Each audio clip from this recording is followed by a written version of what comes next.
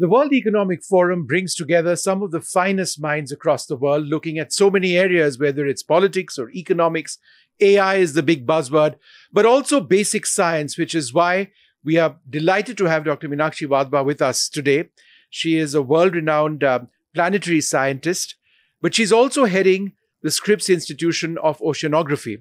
And it's fascinating for me to know about how somebody who has done so much uh, in terms of space and research delves or has sort of gotten into the oceans and science over there.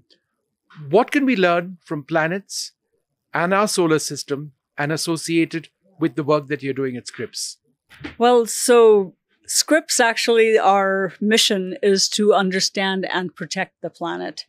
And I think the understanding piece is the key. You cannot really understand the planet without understanding the planetary context. And I think that's where, you know, my background comes in.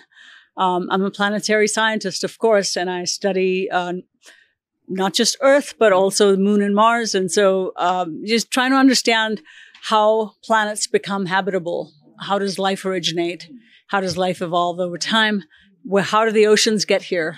All of that is part of understanding a planet, and we need to do that before we can actually protect our planet. Which brings me obviously to, to the next question. It's, since you've looked very carefully at the data coming back from Mars um, and all of the sensor data, and um, you know, how close are we to actually answering the one question that we want to know all about life on Mars? Yes, you know, um, I think that is the that is a big question. And we actually have samples that we've collected.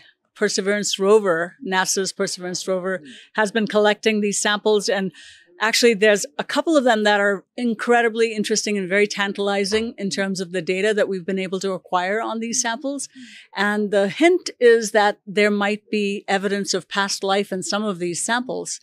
And past life. Past life, right. not ex- not and not at the current time, um, but at the present time, I know that NASA's plans for bringing those samples back, there those plans are on hold.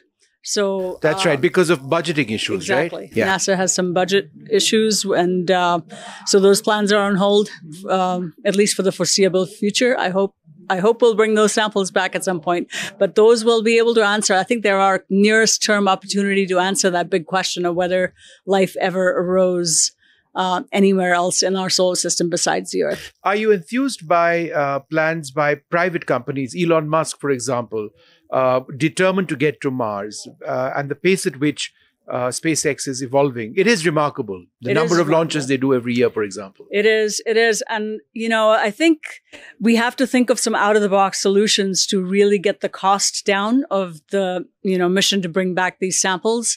And um, it's my hope that there might be an opportunity with commercial space entities like SpaceX being involved, perhaps, or Blue Origin. Um, some of these companies are developing some really, really amazing technologies and at much cheaper costs. Um, so we'll see what happens, but I'm I'm I'm optimistic. You know, we had an incredible Mars mission India called Mangalyaan. Yes. where at at a cost of less than a, a Hollywood film, we deployed through a slingshot um, into Mars orbit a small uh, satellite which kept working and working and working. And it, it lasted Very... years longer than it was meant to, taking beautiful photographs. Yes. Um, tell us about your thoughts about India's space program. I think it's super exciting, you know, that when I left India to go to graduate school, India did not have a space program. But now it's just so exciting to see all of the, you know, exploration that India has been able to do, you know, Mars, of course, and mm. the moon yeah. too. And so um, I'm I'm really excited about the future. Do you believe program. that future is premised to a large extent on collaboration between different partner nations? The Artemis Accords, for example, yes. is premised on that. That yes. space has to be for peaceful purposes. Science must be shared. Exactly. And I think, you know, science is it's a team sport and, and, exploration is a team sport. And so I think, you know, you can go further and longer if you team up with others and uh, can pool resources. So yes, absolutely. I think the future is going to be in collaboration. And, and I know that, for example, NASA is collaborating with India on a number of other missions as well, like NISAR. Yes, yes, that's true. so, yeah. In fact, you've uh, looked at NISAR data coming back. Is that right? Well, we have a number of Scripps uh, scientists that are involved in that mission. And so, yes, they're getting some really incredible And data. what exactly are you looking for in that data? I mean, Well, I mean, tell our viewers a little bit about NISAR and what it brings back to us. Well, I mean, I think so. The Earth observation piece of it is very important, and cer- certainly when it comes to, um, you know, looking for indicators for climate change and hazards, I think all of those kinds of you know indicators you can get from uh, some of the exciting data that's coming back from NISAR. So, And so, just a, a final question or two. Um, you now, of course, as head of Scripps, look at the world from a different perspective, uh, from the perspective of oceans, certainly. Uh, how much of a risk do we all face if there's a rise in seawater temperatures? Yes, I mean, I think that's that's one of the biggest biggest things that humanity is facing right now is this planetary scale changes that we're seeing in our environment, Mhm. and um, you know, I think we are. You know, in the coming decades, we're going to see sea level rising. We're going to see extreme weather events that are going to affect most, you know, mo- the most vulnerable populations in the world are going to be most affected by that. And, um, you know, unless we do something about it and we do something really fast and we have to do something really big to really make a difference at this point. And so, yes, I mean, we have to work together.